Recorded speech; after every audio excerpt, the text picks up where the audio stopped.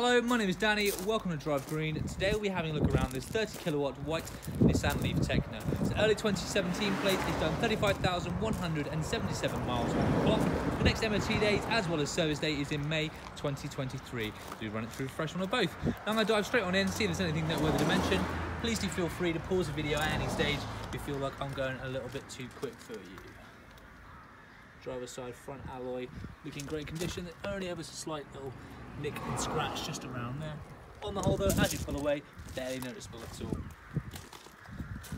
Now the Tekna variant is the higher of the specs so you've got lots of different bells and whistles to play with. You've got a 360 camera reversing camera as well as your full leather seats all heated and stuff in the front and the back seats heated steering wheel. Bose sound system all kind of different bells and whistles to play with. Comfort access button just on here, as long as you've got a key in your pocket, you can lock and unlock the car. On the inside, nice spacious cabin area. The other seats are all looking in great condition. There's a slight little minor wear that you can just see on there. On the whole though, barely any other signs of life.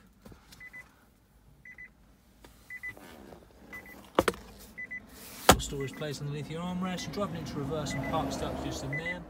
A couple of cup holders, your electric seat heat warmers, climate control system, touchscreen DAB radio with your sat nav.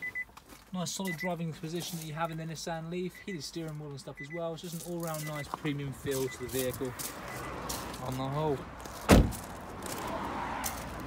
Now, the 30 kilowatt version of the Nissan Leaf will give you a real world range roughly just over 100 miles or 105 miles to play with. So more than capable enough of doing the short hot A and B.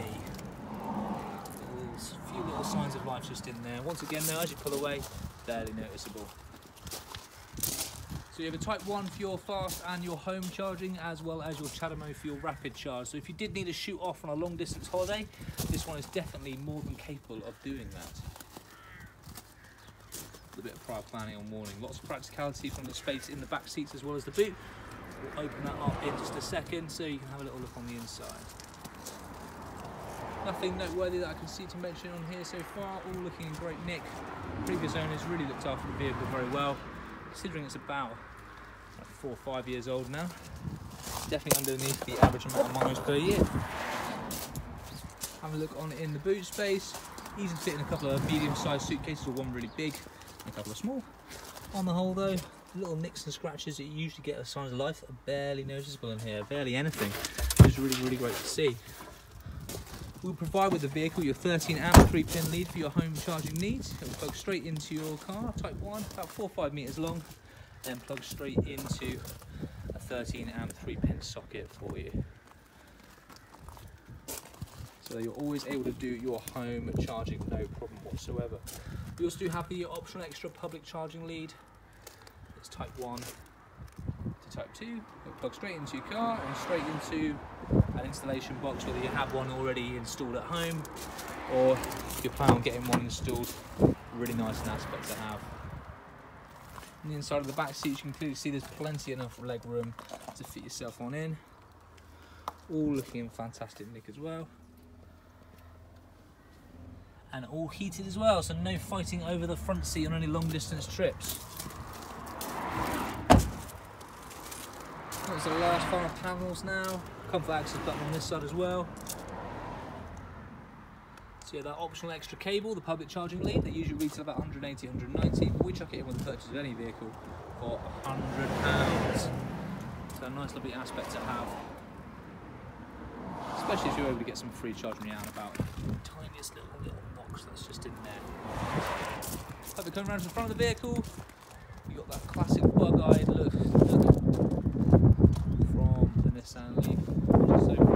This is one of definitely the most popular vehicles that we do sell on our forecourt, so I can't imagine it hanging around for terribly too long. Just underneath that Nissan sign, that's where you're going to find your Type 1 as well as your CHAdeMO your charging ports.